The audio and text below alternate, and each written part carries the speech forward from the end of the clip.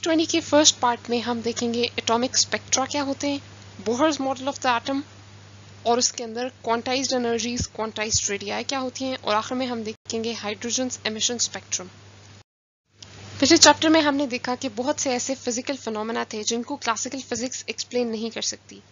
ऐसा ही एक phenomena atomic spectra भी है। ये फिनोमेना क्या है? एक वैक्यूम ट्यूब के अंदर नेगेटिवली चार्ज कैथोड और पॉजिटिवली चार्ज एनोड होता है कैथोड इलेक्ट्रॉन्स एमिट करता है। इस ट्यूब के अंदर हाइड्रोजन गैस डाली गई और उसके ऊपर इलेक्ट्रॉन्स बम्बार्ड किए गए तो हाइड्रोजन मॉलिक्यूल्स रेडिएशन एमिट कर रहे थे। पहली चीज़ कि वो रेडिएशन क्यों एमिट कर रहे थे? और दूसरा, जब उस रेडिएशन को देखा गया एनालाइज किया गया तो उसके अंदर सिर्फ़ दो, एक, दो फ्रीक्वेंसीज थी। यानी सब फ्रीक्वेंसीज नहीं थी। इस तरह के स्पेक्ट्रम को स्पेक्ट्रम का मतलब होता है एक ऐसा ग्राफ जो फ्रीक्वेंसीज दिखाता है। इस तरह के स्पेक्ट्रम को कहते हैं लाइन स्पेक्ट्रा क्योंकि इसमें फ्रीक्वेंसी की दो लाइंस हैं, एक फ्रीक्वेंसी वन एक फ्रीक्वेंसी टू तो hydrogen atoms line spectrum emit कर रहे थे। और हाइड्रोजन चूँकि एटम्स हैं तो इस तरह जो एटम का स्पेक्ट्रम होता है, उसको एटॉमिक स्पेक्ट्रा कहते हैं। इसी तरह मॉलिक्यूलर स्पेक्ट्रा हो सकता है, और किसी और भी ऑब्जेक्ट का स्पेक्ट्रा हो सकता है ब्लैक बॉडी का स्पेक्ट्रा हो सकता है।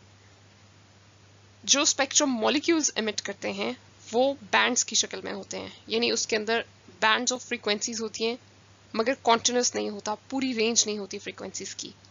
ब्लैक बॉडी जो स्पेक्ट्रम रेडिएट करती है, क्योंकि ब्लैक बॉडी एक आइडियल बॉडी होती है, जिसके अंदर जो सारी फ्रीक्वेंसीज एब्जॉर्ब और एमिट करती है इसलिए उसके अंदर सारी फ्रीक्वेंसीज मौजूद होती हैं और उसके स्पेक्ट्रम को कॉन्टिन्यूस स्पेक्ट्रम कहते हैं। अब सवाल ये था कि हाइड्रोजन का एटॉमिक स्पेक्ट्रा को क्लासिकल फिजिक्स एक्सप्लेन नहीं कर सकती थी, क्योंकि अभी तक जो हमारे पास मॉडल था एटम का, उसके मुताबिक एटम को की रेडिएशन एमिट करने की कोई वजह समझ नहीं आती थी और फिर रेडिएशन सिर्फ़ लाइंस की शक्ल में, यानी लाइन स्पेक्ट्रम सिर्फ़ एक या दो फ्रीक्वेंसीज एमिट होना भी क्लासिकल फिजिक्स एक्सप्लेन नहीं कर सकती थी। Radiation emitted from hydrogen filled discharge tube is dispersed by prism यानी प्रिज्म में इसको हमने एनालाइज करके देखा कि इसके अंदर कौन सी फ्रीक्वेंसीज हैं। Spectrum observe is called hydrogen के केस में हमारा स्पेक्ट्रम लाइन स्पेक्ट्रम था, उसमें सिर्फ़ चंद एक फ्रीक्वेंसीज थी। बाकी ऑप्शन हम देखते हैं। कॉन्टिन्यूस स्पेक्ट्रम कैसा होता है? जिसके अंदर सब पूरी फ्रीक्वेंसी रेंज होती है, जो ब्लैक बॉडी एमिट करती है। बैंड स्पेक्ट्रम मॉलिक्यूल्स एमिट करते हैं। और उसके अंदर कुछ बैंड्स ऑफ़ फ्रीक्वेंसीज विजिबल होते हैं। एब्जॉर्प्शन स्पेक्ट्रम क्या होता है? ये जो स्पेक्ट्रम हमने देखा हाइड्रोजन का, ये एमिशन स्पेक्ट्रम था, क्योंकि हाइड्रोजन के ऊपर इलेक्ट्रॉन्स बम्बार्ड किए गए और उसने रेडिएशन एमिट की। तो जो रेडिएशन एमिट करता है, वो एमिशन स्पेक्ट्रम होता है। एब्जॉर्प्शन स्पेक्ट्रम एमिशन स्पेक्ट्रम का ऑपोजिट होता है। उस केस में हम हाइड्रोजन के ऊपर एक रेंज ऑफ़ फ्रीक्वेंसीज की रेडिएशन डालते हैं या लाइट उसके ऊपर डालते हैं। और फिर देखते हैं कि वो कौन सी फ्रीक्वेंसीज एब्जॉर्ब करता है। ये बिल्कुल एमिशन का ऑपोजिट होता है। जो फ्रीक्वेंसीज एमिशन में एमिट हो रही हैं वही फ्रीक्वेंसीज एब्जॉर्प्शन में वो एब्जॉर्ब करेगा हाइड्रोजन और बाकी सब फ्रीक्वेंसीज एमिट कर देगा। तो इस तरह के स्पेक्ट्रम uh, को एब्जॉर्प्शन स्पेक्ट्रम कहते हैं। हम इस चैप्टर में Bohr's model of the atom पढ़ेंगे क्योंकि वो हाइड्रोजन स्पेक्ट्रम को एक्सप्लेन करता है कि ये क्यों है इस तरह का। उससे पहले तक जो मॉडल एटम का लोग देखते थे, वो रदरफोर्ड मॉडल था क्लासिकल फिजिक्स के अंदर, और वो एटॉमिक स्पेक्ट्रा के फिनोमेना को एक्सप्लेन नहीं कर सकता। रदरफोर्ड मॉडल क्या था? रदरफोर्ड ने एक गोल्ड फॉयल एक्सपेरिमेंट किया। एक गोल्ड फॉयल बहुत बारीक, जिसकी थिकनेस एक एटम के बराबर थी, उसके ऊपर उसने अल्फ़ा पार्टिकल्स बम्बार्ड किए। अल्फ़ा पार्टिकल हीलियम के न्यूक्लियाई होते हैं, दो प्रोटॉन और दो न्यूट्रॉन्स उसने देखा कि ज़्यादातर अल्फ़ा पार्टिकल्स इस गोल्ड फॉयल के अंदर से गुजर जाते थे और कुछ मुख्तलिफ़ एंगल्स के ऊपर रिफ्लेक्ट बैक हो जाते थे। इससे उसने ये अखज़ किया कि ज़्यादातर एटम एम्प्टी स्पेस होता है, मगर उसके अंदर सेंटर में एक पॉजिटिवली चार्ज न्यूक्लियस है, जिसकी वजह से अल्फ़ा पार्टिकल्स जो खुद भी पॉजिटिवली चार्ज होते हैं, वो जब उसे टकराते हैं तो रिफ्लेक्ट बैक हो जाते हैं। नील्स बोहर ने एटॉमिक स्पेक्ट्रा को एक्सप्लेन करने के लिए एक मॉडल पेश किया एटम का, जिसके तीन पॉस्टुलेट्स हैं। पहला ये कि एटम के गिर्द इलेक्ट्रॉन्स फिक्स्ड ऑर्बिट्स में मूव कर रहे होते हैं। दूसरा पॉस्टुलेट किसी एक ऑर्बिट में इलेक्ट्रॉन का जो एंगुलर मोमेंटम होता है, वो इंटीग्रल मल्टीपल होता है एच ओवर टू पाई का। एन की वैल्यू वन टू या थ्री हो सकती है एन के बीच में कोई वैल्यू नहीं ले सकता, सिर्फ़ वो ऑर्बिट्स एग्जिस्ट uh, करते हैं। इलेक्ट्रॉन सिर्फ़ उन ऑर्बिट्स में मौजूद होता है। उसके अलावा बीच में किसी जगह पे मौजूद नहीं हो सकता। तीसरा पॉस्टुलेट कि जब एक इलेक्ट्रॉन हाई ऑर्बिट से लो ऑर्बिट में मूव करता है तो वो अपनी एक्स्ट्रा एनर्जी एक फोटोन या क्वांटम की शक्ल में एमिट कर देता है। क्वांटम की एनर्जी मैक्स प्लैंक की क्वांटम थ्योरी के मुताबिक एक क्वांटम में कितनी एनर्जी होती है? एच टाइम्स एफ़ जो उसकी फ्रीक्वेंसी होती है। तो बोहर ने प्लैंक्स की थ्योरी इस्तेमाल करते हुए ये पॉस्टुलेट बनाया कि जब, जो क्वांटम वो एमिट करता है, उसकी एनर्जी हाई एनर्जी स्टेट में उस इलेक्ट्रॉन की जो एनर्जी थी let say E two minus low energy state में जो उसकी एनर्जी थी लेट से ई वन इन दोनों एनर्जीज के डिफरेंस के बराबर एनर्जी होगी इस फोटोन के अंदर जो वो एमिट करेगा। अब ये मॉडल हाइड्रोजन के लाइन स्पेक्ट्रम को किस तरह एक्सप्लेन करता है? हमने दो बातें एक्सप्लेन करी थी कि जब इलेक्ट्रॉन्स बम्बार्ड किए गए तो वो रेडिएशन क्यों एमिट कर था और रेडिएशन के अंदर सिर्फ़ दो फ्रीक्वेंसीज क्यों थी? तो पहली बात उसने कहा कि जब हम इसके ऊपर इलेक्ट्रॉन्स बम्बार्ड कर रहे थे तो ये इलेक्ट्रॉन्स उसके हाइड्रोजन के इलेक्ट्रॉन्स के साथ टकराते हैं, इनको अनस्टेबल कर देते हैं, ये लोअर एनर्जी स्टेट में चले जाते हैं और फिर वो फोटोन्स एमिट करते हैं। जो रेडिएशन हम देखते हैं, वो दरअसल इन फोटोन्स की वजह से होती है।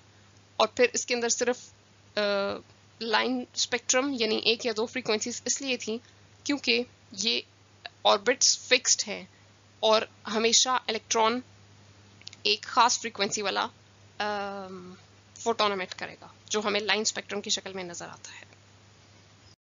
According to Rutherford's atomic model positive charge in an atom is concentrated at it centre nucleus में पॉजिटिव चार्ज होता है रुदरफोर्ड ने अल्फ़ा पार्टिकल्स उसके ऊपर बम्बार्ड करके देखा। बाकी ऑप्शंस आप देख सकते हैं in the form of positive electrons गलत है। Uh, यूनिफॉर्मली गलत है क्योंकि वो सिर्फ़ सेंटर में था is readily deflected by alpha particles the positive charge in an atom is readily deflected by an alpha particle. ये भी ऑप्शन ठीक हो सकता है क्योंकि अल्फ़ा पार्टिकल उसकी न्यूक्लियस से टकरा के डिफ्लेक्ट होते थे मगर हमेशा नहीं होते थे। ज़्यादातर वो बीच में से गुजर जाते थे गोल्ड फॉइल के। इसलिए ऑप्शन ए ज़्यादा ठीक है क्योंकि वो हर केस में ट्रू है कि पॉजिटिव चार्ज कॉन्सेंट्रेटेड सेंटर में होता है। The bulk of the mass of an atom is concentrated in its हमें पता है न्यूक्लियस के अंदर.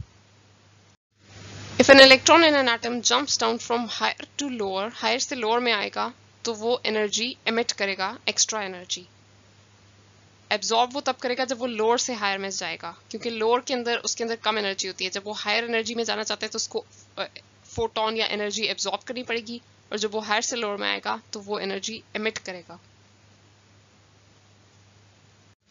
When electron absorbs energy, it jumps to higher energy level. In Bohr's atomic model, electron does not fall into the nucleus because अब nucleus positively charge होता है electron negatively होता है तो वो उसके अंदर क्यों नहीं गिर जाता first option electrostatic attraction is balanced by mechanical force जो कि सेंट्रीपिटल फोर्स हो सकता है जो कि इलेक्ट्रोस्टैटिक फोर्स ही प्रोवाइड कर रहा होता है electron is not a particle quantum rules do not allow it it has a negative charge negative charge की वजह से तो उसको गिर जाना चाहिए, इसलिए ये ऑप्शन हम गलत कर सकते हैं। Quantum rules do not allow it quantum rules जो हमने पढ़े हैं, वो ये हैं कि वो क्वांटम की फॉर्म में फोटोन एमिट करता है। उसकी वजह से अट्रैक्शन के बारे में हम कुछ कह नहीं सकते। Electron is not a particle electron particle और वेव दोनों की तरह बिहेव करता है, लेकिन ये नहीं कहा जा सकता कि इलेक्ट्रॉन पार्टिकल नहीं है। तो हम फिर ऑप्शन ए को ही ठीक कर सकते हैं कि इलेक्ट्रोस्टैटिक अट्रैक्शन बैलेंस होती है मैकेनिकल फोर्स क्योंकि वो सेंट्रीपिटल फोर्स प्रोवाइड करी होती है इलेक्ट्रोस्टैटिक अट्रैक्शन जिस तरह ज़मीन के गिर्द हम सैटेलाइट्स भेजते हैं सैटेलाइट्स हमेशा फ्री फॉल करी होती हैं, और वो ज़मीन के अट्रैक्शन की वजह से ज़मीन के ऊपर नहीं गिरती इसी तरह इलेक्ट्रॉन भी न्यूक्लियस के ऊपर नहीं गिरता। According to Bohr's atomic model, energy is radiated in the form of a photon by an atom whenever emit तब होती है जब वो higher energy से lower energy पे आता है One of its electrons speed up in its orbit. Speed से कोई फ़र्क नहीं पड़ता Speed up या down होने से photons emit नहीं होते One of its electrons jumps from higher to a lower. Option C. Lower से हायर में जब जाएगा तो एनर्जी एब्जॉर्ब होगी Bohr's atomic model is based on the assumption that angular momentum n h over 2 pi होता है ये उसका सेकंड uh, पोस्टुलेट है ये ठीक है। Total energy of electron in respective orbit remains constant ये भी ठीक है एक ऑर्बिट के अंदर इलेक्ट्रॉन की एनर्जी फिक्स रहती है। When electron jumps from higher to lower then an energy photon is this ये इसका third postulate है ये भी ठीक है।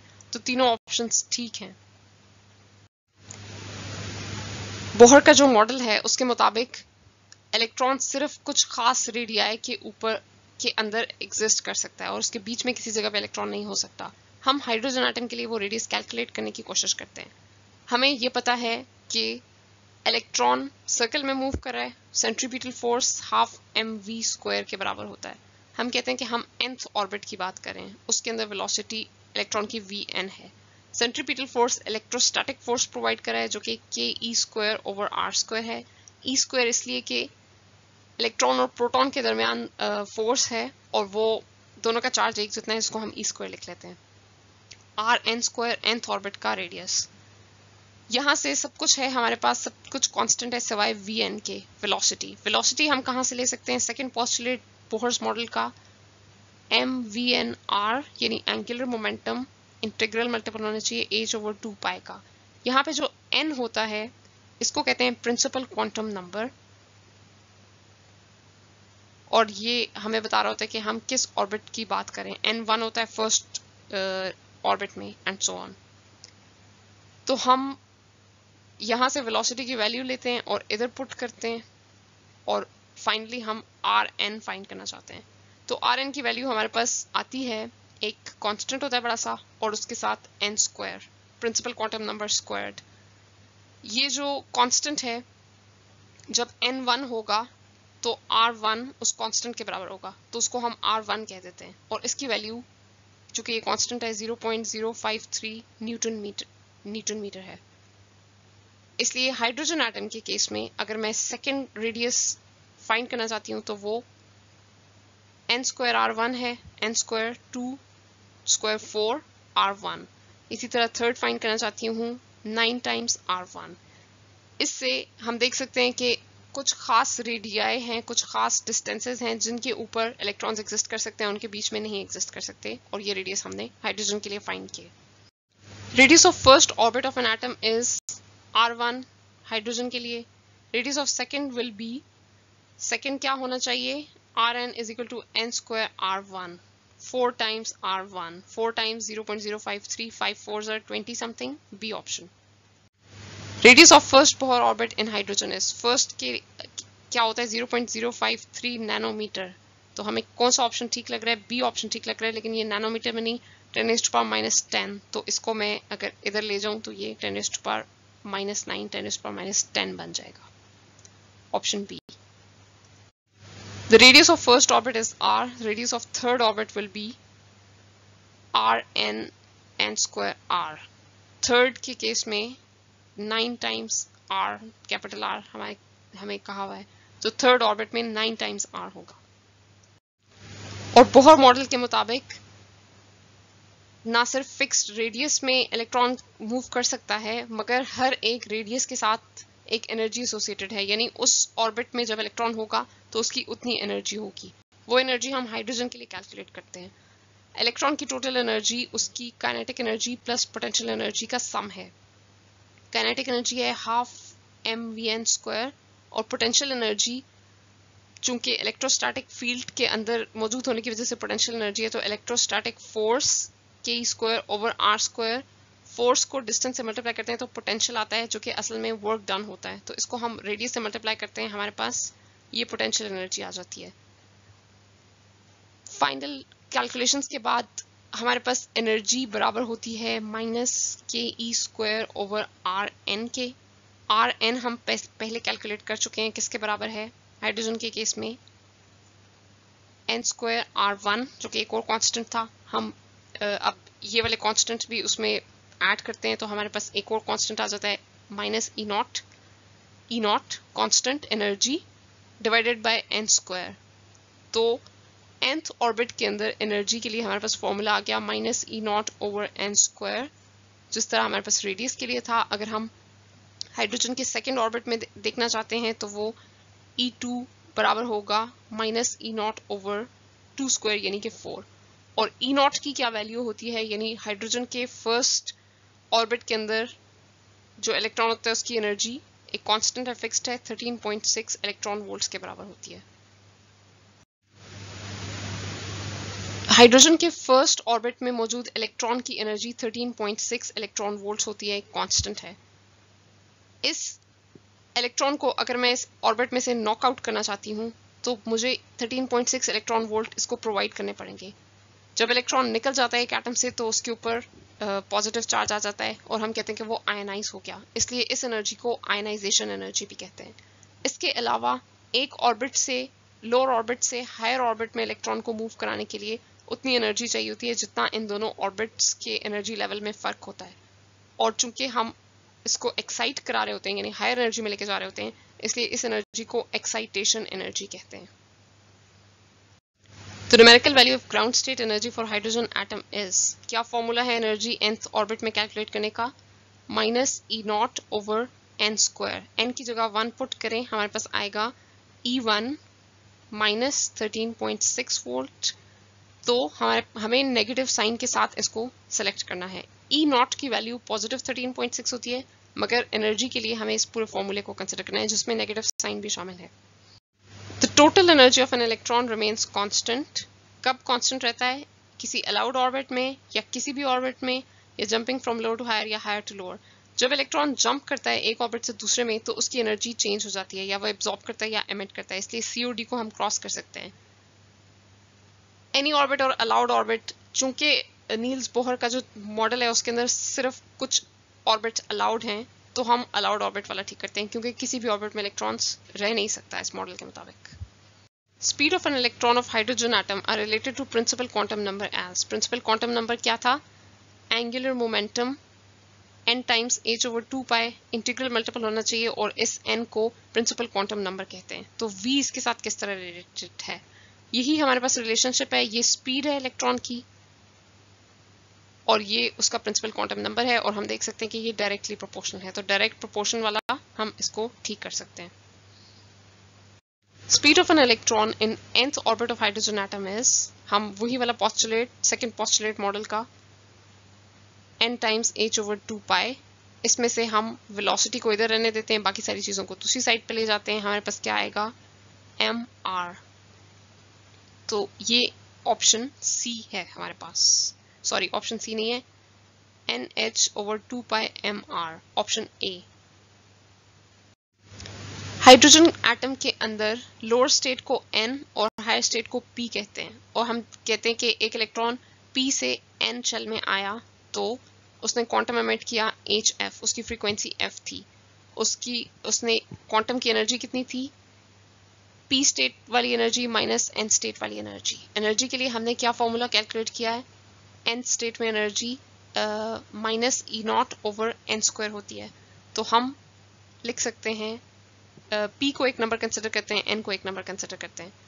Minus e not over p square minus e not over n square मजीद हम फ्रीक्वेंसी को लेमडा से चेंज कर लेते हैं क्योंकि हम लेमडा की फॉर्म में इसको देखना चाहते हैं ताकि कांस्टेंट सारे एक साइड पे आ जाएँ। लेमडा टाइम्स फ्रीक्वेंसी सी के बराबर होती है तो हमारे पास आ जाता है one over lambda minus e not over h c ये एक पूरा कांस्टेंट आ गया। One over p square minus one over n square ये जो रिलेशनशिप है, इसमें हम एन और पी की वैल्यूज़ पुट करें, इस कांस्टेंट की वैल्यू पुट करें तो हमारे पास जो वेवलेंथ्स आती हैं, वो एक्सपेरिमेंटल रिज़ल्ट जो hydrogen atom spectrum line spectrum emit कर रहा था एग्जैक्टली वही वेवलेंथ एमिट करा था जो इस फॉर्मूले के मुताबिक आती हैं। यानी कि बोहर का मॉडल हमारे एक्सपेरिमेंटल रिज़ल्ट के साथ मैच करता है। Spectral lines occur when electrons absorb energy या एमिट एनर्जी या radiate energy because of their orbital motion या radiate energy because of their change in orbital motion तो hydrogen atoms line spectrum emit करते हैं क्योंकि electron high से लो state में आ रहा होता है। बी ऑप्शन इसका ठीक है। एब्जॉर्ब तब करते हैं जब वो लो से हाई में जा रहा हो। और ऑर्बिटल मोशन की वजह से वो एनर्जी रेडिएट नहीं करते।